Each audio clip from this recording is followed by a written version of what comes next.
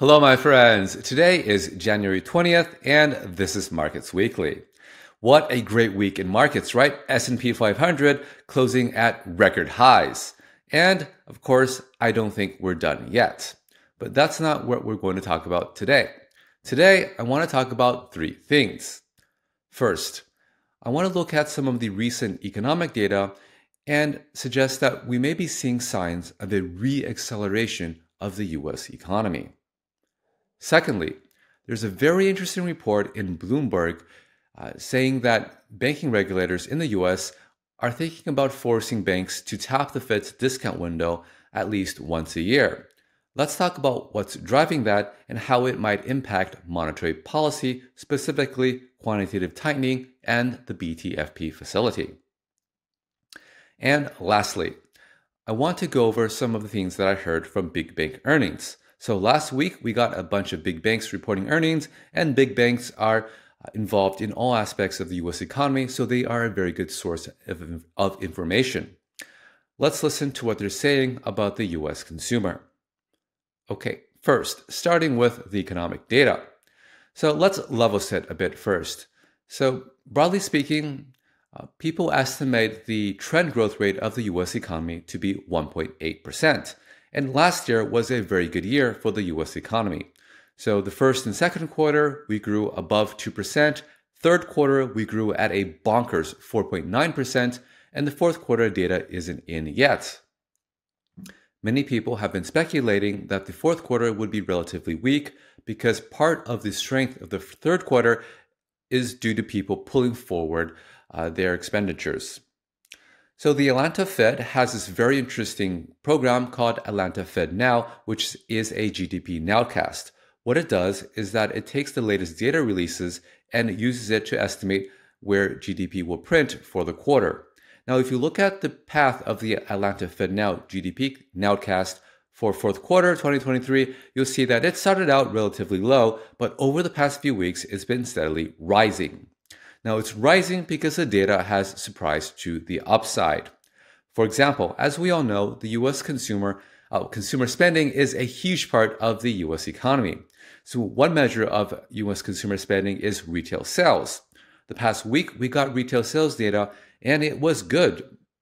So first, it showed acceleration from the prior period and secondly, it printed comfortably above estimates. The US consumer continues to spend. And one reason it can they can continue to spend is because they still have jobs. So many people are looking at the labor market and worried that you know are we able to sustain these uh, multi-decade low unemployment rates? And are we able to sustain a wage growth that continues to be above pre-pandemic pace? So right now wage growth is about 5%. Now, one of the data points that we can look at in the labor market as a leading indicator is initial claims. So in the US, when you lose your job, what you will usually do is you go to your local state unemployment office and you file an unemployment claim because that's how you can get some unemployment insurance money. Now, initial claims this past week was was really low. Now, if you look at a broader time series of this, you'll notice that it was looking pretty stable around a relatively low level, and now it looks like it's trending downward. And that could suggest some strength in the labor market. Now, one other way to look at the state of the US economy is to look at consumer sentiment. So, the US, University of Michigan does this consumer uh, confidence survey, and it's basically a survey that asks consumers, How are you feeling about your financial situation and that of the economy? Now, consumer sentiment index is still lower than the highs in prior years, but if you look at it, you can see that it's steadily rising, and that shouldn't be surprising. Now, People continue to have jobs, wages continue to grow, inflation is moderating, and interest rates are coming down. And of course, the stock market is surging. So, that all in all seems to be pointing to improving consumer sentiment, which of course can suggest that going forward, consumers might be more confident and more comfortable spending. Now, the big change this year compared to the last is that the Fed is expected to keep cutting rates. And so one potential path for a reacceleration of the US economy is to see these interest rate sensitive sectors uh, reaccelerate. And as we know, mortgage rates have been coming down the past few weeks. But and if you look at housing starts, single family housing starts, you'll notice that although they declined last month, the trend is solidly upward. And as mortgage rates continue the trend lower, uh, maybe the US housing market reaccelerates. And of course, that's going to be a boost to GDP because when you build a house, you got to hire a lot of people, you got to buy a lot of materials, you got to buy appliances and so forth. So it's very stimulative to the goods sector of the, of the economy. So going forward, uh, if interest rate sensitive sectors you know, reaccelerate, we could have actually a pretty good year. And that remains to be seen. So, um, all in all, definitely don't really see any signs of recession. What I do see, though, is signs of reacceleration, and let's follow this more closely going forward. Okay, the second thing that I want to talk about is this really interesting report from Bloomberg uh, saying that banking regulators in the US want to force banks to tap the Fed's discount window uh, once a year.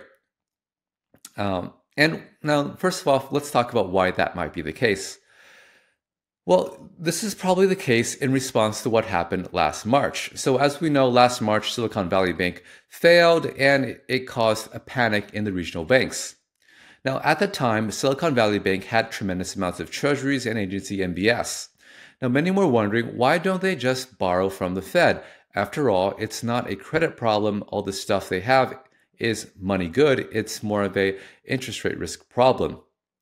Well, it turns out Silicon Valley Bank actually wasn't set up to use the discount window. So um, they basically uh, had a liquidity liquidity run that was very fast, borrowed from the home loan banks, tried to borrow from the Fed, but wasn't set up, and, and so wasn't able to do that in time. Which is kind of ridiculous when you think about it. The Fed, obviously, as the central bank, is the lender of last resort, and yet there are many banks, it seems, who don't even know how to tap the discount window. So the regulators realized that this was ridiculous and are forcing banks to basically be ready operationally uh, to tap the discount window in case they run into liquidity problems, um, which is, I think, a really good idea. Now, this is also going to have some implications on monetary policy.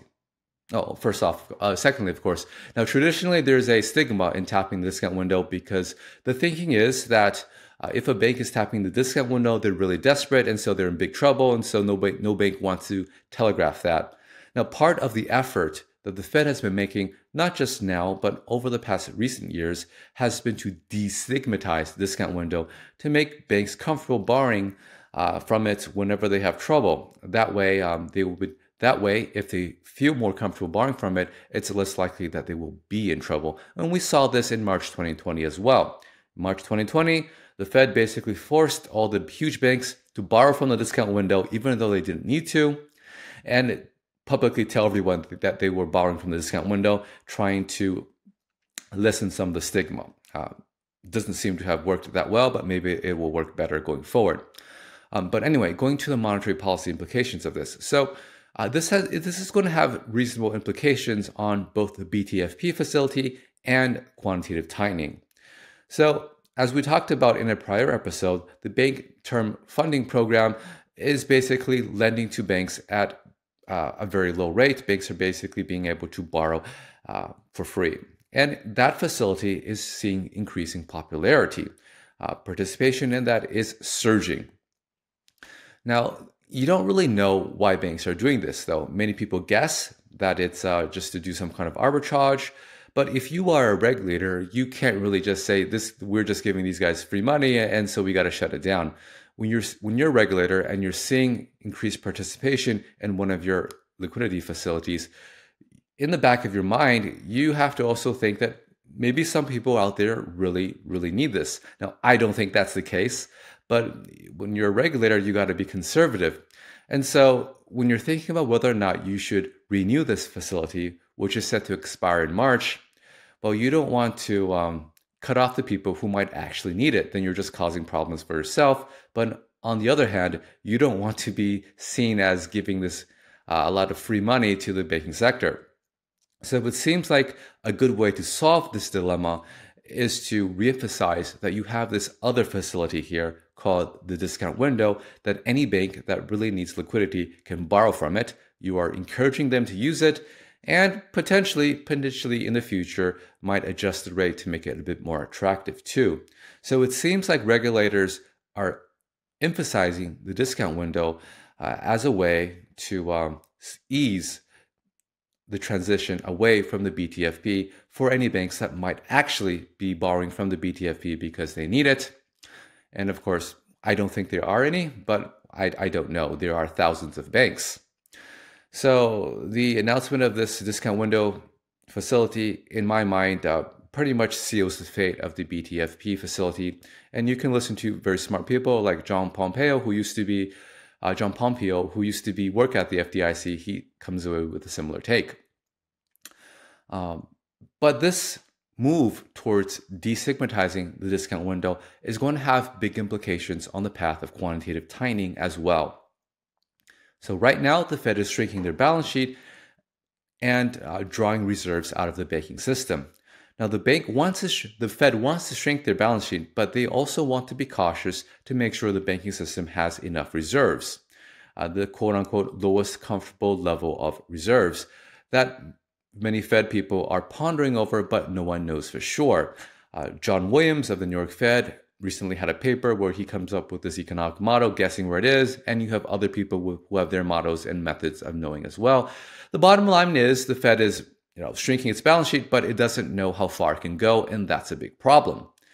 But if they have the discount window that is unstigmatized and everyone knows how to use, it's much less of a problem. Because at the point where the Fed might potentially be shrinking their balance sheet too much, then a bank, any bank that needs reserves, can just turn around and borrow from the Fed. So the more people, the more banks that are comfortable and set up to use the discount window, the less the Fed has to worry about uh, shrinking their balance sheet too much, and that gives the Fed a lot more room to conduct quantitative tightening. Now, I don't know if this discount window initiative is going to be in time for uh, this round of QT, but going forward, though, I think this gives the Fed a lot more flexibility to shrink their balance sheet. It will be possible to significantly shrink their balance sheet if they have this destigmatization of the discount window uh, ready or successfully do that. Okay, the last thing that I want to talk about is all the information we got from the big banks. So big banks have tremendous information on the economy. You know, a lot of people bank with them, get their loans from them, and the big banks, of course, see credit card data. So what are the big banks saying? The message seems to be one of normalization. So uh, the Bank of America is one of my favorite banks when it comes to this because they provide a lot of good graphs that they see from their defaults and from their credit card spending. So what the Bank of America data is showing that uh, during the pandemic, we had a surge in spending as people had a lot of money and so forth. And now that surge in spending is plateauing towards growth rates that were consistent with, with how things were pre pandemic. Basically, you have a normalization in consumer activity. Now, the Bank of America looks at their consumer balances and notes that although consumer balances, so their checking deposit balances, have gone down from their highs, they're still significantly higher than pre-pandemic levels. And so Bank of America has a pretty upbeat look view on the consumers. Now, when you look at credit quality, though, they also have very interesting charts on consumer credit quality and commercial credit quality. And you can see that overall, although um, defaults and charge offs have ticked up slightly over the past few months, they, they still very much remain within historical ranges. And many banks describe this as normalization. We are, were at a very uh, historically low level of defaults and losses during the pandemic, and now we're going back to historically normal levels, and that makes total sense to me. Now, when we listen to what JP Morgan is saying, they're saying basically uh, the same thing.